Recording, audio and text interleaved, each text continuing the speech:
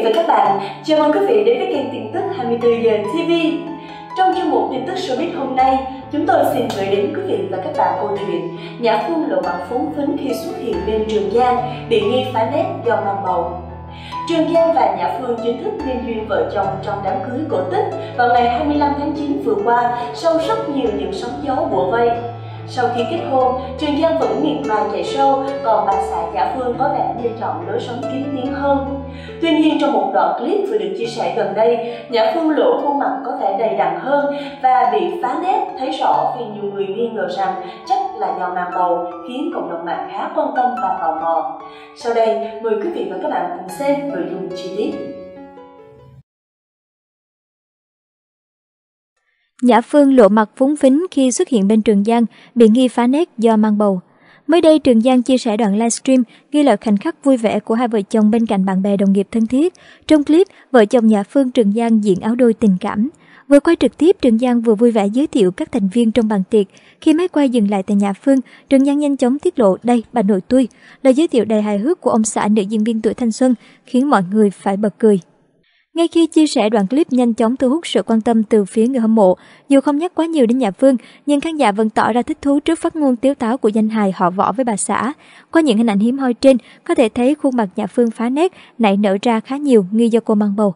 Bên cạnh đó, một số fan thở phào nhẹ nhõm khi thấy vợ chồng Đức Thịnh Thanh Thúy xuất hiện vui vẻ cùng Trường Giang Nhã Phương, dường như không có chuyện mâu thuẫn cạch mặt sau chuyện phía Đức Thịnh công bố Nhã Phương mang bầu.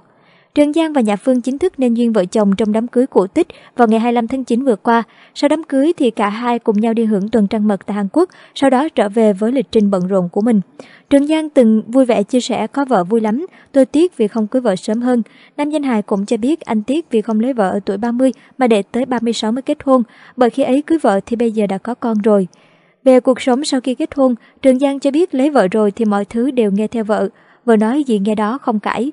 Về vấn đề quản lý kinh tế, Trường Giang chia sẻ rằng Trấn Thành từng nói cưới vợ rồi được cho 2 triệu mỗi ngày, còn tôi bây giờ đi ra đường không có một cắt, tất cả tiền đều là do trợ lý lo, muốn ăn hay chi cái gì trợ lý lo hết, tôi không có tiền.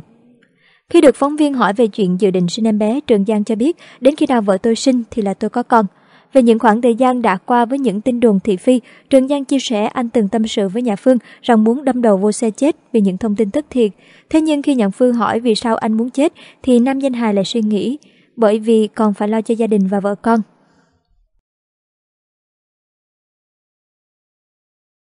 Nhà Phương bức xúc lên tiếng trước thông tin chính thức xác nhận mang bầu.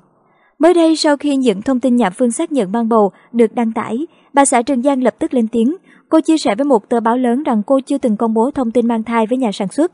Phía nhà sản xuất chưa hỏi tôi và tôi cũng chưa từng chia sẻ thông tin liên quan đến chuyện riêng tư. Trước đó, nhà sản xuất phim Tràng Quỳnh chia sẻ với báo chí thông tin Điềm là vai diễn cuối cùng của nhà Phương trước khi bước sang một ngưỡng cửa mới là thiên chức là mẹ. Đồng thời, dân tình cũng xôn xao với lời xác nhận của nhà Phương. Khán giả vẫn thường nhớ đến tôi với những vai diễn ngọt ngào nhẹ nhàng, ngay cả đến chính tôi cũng đã dần quen. Thế nhưng sau khi bước vào cánh cửa hôn nhân và chuẩn bị làm mẹ, vai diễn Điềm bỗng dưng có sức hút cực kỳ lớn đối với tôi. Tôi nhận vai và buộc mình phải diễn rất quyết liệt, diễn như thể là lần cuối được diễn vai thiếu nữ vậy, lần cuối được trẻ trung, tràn đầy năng lượng như trên màn ảnh vậy. Khi xem là những cảnh quay trong Tràng Quỳnh, tôi thấy như được quay lại thời mình còn trẻ. Nàng Điềm là hội tụ của nhà Phương ngày xưa, khi còn năng lượng và hứng khởi tột cùng, và nhà Phương hiện tại đầy đủ trải nghiệm cảm nhận được nhân vật ở từng cảnh quay. Theo nhiều nguồn tin, nữ diễn viên mang thai ở tháng thứ bảy rất có thể người đẹp sẽ vắng mặt trong buổi ra mắt Tràng Quỳnh, dự kiến vào ngày 25 tháng 1 sắp tới. Trước khi nhà Phương và Trường Giang tổ chức đám cưới vào tháng 8 năm 2018, thông tin nữ diễn viên yêu đi đừng sợ mang thai đã râm ran trong hội trường giới giải trí. Trong một số tấm ảnh cưới và ảnh sự kiện, nữ diễn viên đã lộ vòng hai lớn. Tuy nhiên, phía nhà Phương và Trường Giang đều từ chối trả lời về chuyện mang bầu. Nhà Phương và Trường Giang làm lễ đính hôn vào cuối tháng 8 tại Quảng Nam. Nhiều nguồn tin khi đó khẳng định nhà Phương đã mang bầu 3 tháng. Do đó, cô phải hủy vai diễn trong phim truyền hình Hậu dị mặt trời. Trường Giang và nhà Phương tổ chức đám cưới vào ngày 25 tháng 9. Trong ngày vui, Trường Giang xúc động chia sẻ niềm hạnh phúc vì đã đến được với nhà Phương sau nhiều sóng gió.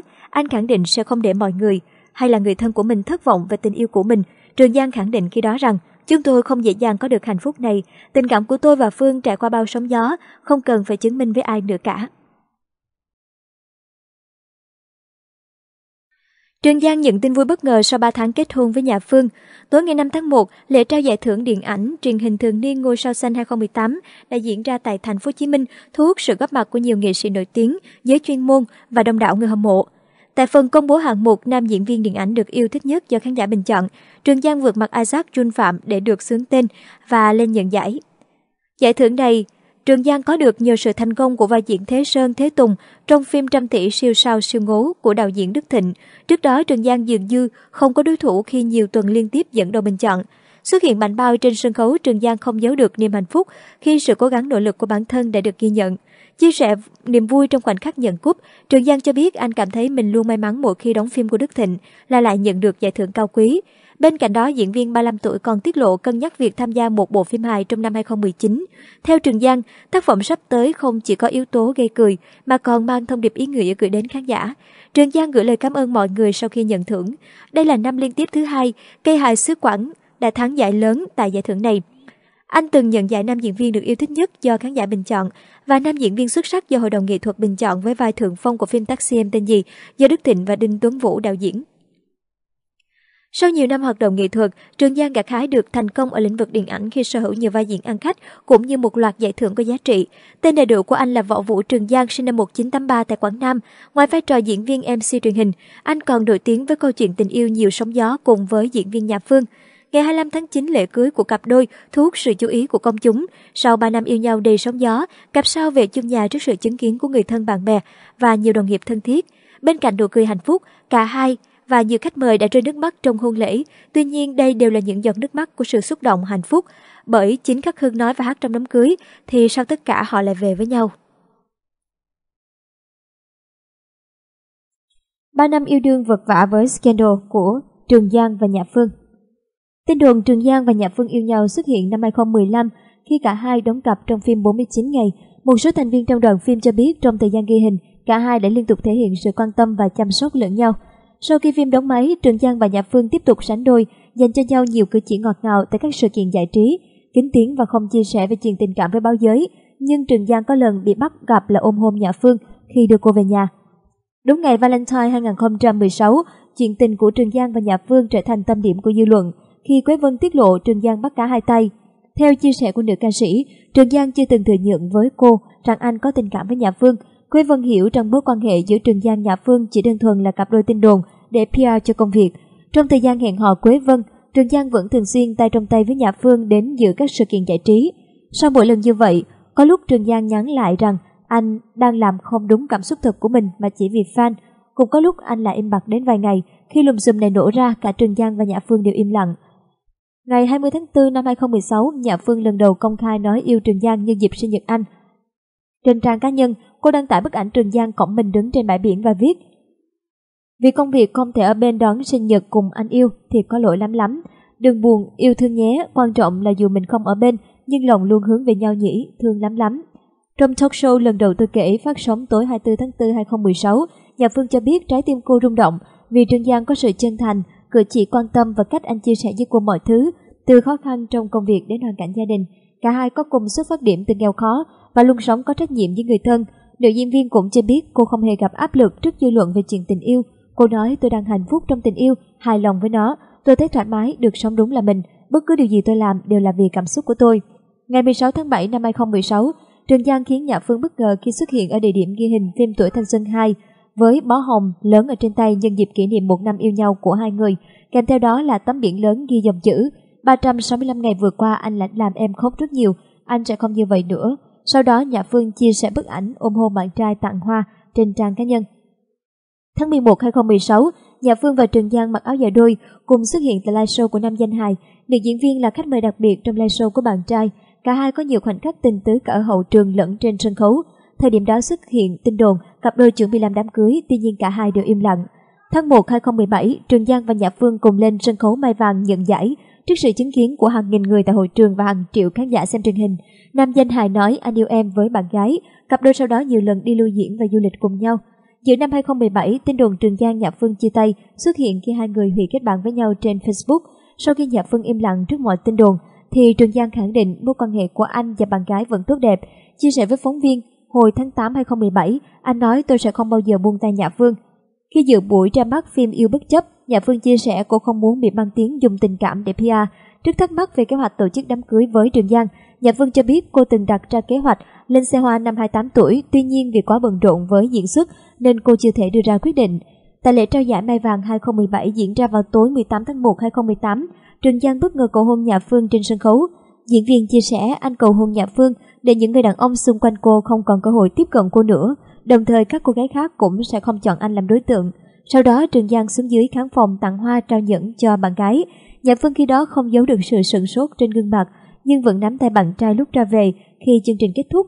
Màn cầu hôn này của Trường Giang bị chỉ trích vì chiếm sóng truyền hình trực tiếp của lễ trao giải. Nam danh hài sau đó phải gửi lời xin lỗi chính thức đến ban tổ chức và khán giả của mình. Tháng 3 năm 2018, chuyện tình cảm của Trường Giang và Nhạc Phương tiếp tục gặp sóng gió khi nam em bất ngờ tiết lộ với báo giới chuyện cô yêu nam danh hài. Theo chia sẻ của nam em, ít ngày trước khi cầu hôn Nhạc Phương trên truyền hình, Trường Giang vẫn còn đến dự sinh nhật cô. Sau khi đọc tin về việc bạn trai cầu hôn người con gái khác, cô thấy rất đau khổ. Việc này khiến nam em mang tiếng là kẻ thứ ba phá hoại hạnh phúc của người khác, còn Trường Giang một lần nữa bị chỉ trích là kẻ bắt cả hai tay. Trong tâm điểm của ồn ào này, Quế Vân tiếp tục đăng đàn tố anh là người đàn ông không ra gì. Trước ồn ào do những chia sẻ của nam em và Quế Vân tạo ra, Trường Giang và Nhạc Phương tiếp tục giữ im lặng với truyền thông, không phát biểu hay giải thích gì. Tối ngày 25 tháng 3, cặp đôi lần đầu xuất hiện kể từ sau ồn ào với nam em. Khi Trường Giang hát, Nhạc Phương vẫn ngồi xem, nhưng khi sự kiện kết thúc họ không về chung mà được ai nấy đi. Sáng ngày hôm sau, Nhạc Phương viết trên trang cá nhân, Thời gian qua, Phương nhận được rất nhiều sự hỏi thăm động viên từ các fan và khán giả, nhưng những ngày vừa rồi cũng là những ngày bận rộn tơi bời trên phim trường của Phương nên không thể trả lời cả nhà được. Phương vẫn ổn và cảm ơn cả nhà mình rất nhiều. Cảm ơn quý vị và các bạn đã quan tâm theo dõi. Nếu thấy hay thì hãy like và share video. Đừng quên click vào nút đăng ký kênh để nhận những video hấp dẫn được cập nhật mỗi ngày. Xin chào và hẹn gặp lại quý vị trong các bản tin tiếp theo.